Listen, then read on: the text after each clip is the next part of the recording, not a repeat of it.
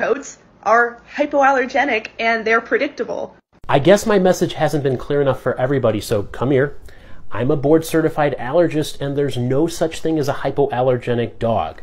I've talked about this before the fact that the proteins that most people are allergic to are found in dog saliva, skin cells, and urine. I am very passionate about debunking this myth because come here, a lot of people who have dog allergies end up buying dogs that are labeled as hypoallergenic thinking it's okay and then they bring them into their home they get sick and then they give up those animals that end up into shelters there have been several studies including this one that have compared the amount of allergenic proteins produced by dogs that have been labeled as hypoallergenic compared to those that have been labeled non-hypoallergenic and there's really no differences between these breeds and in fact sometimes you'll see that these hypoallergenic dogs produce more allergens than the non-hypoallergenic ones. We cannot reliably predict which dog is going to bother your allergies.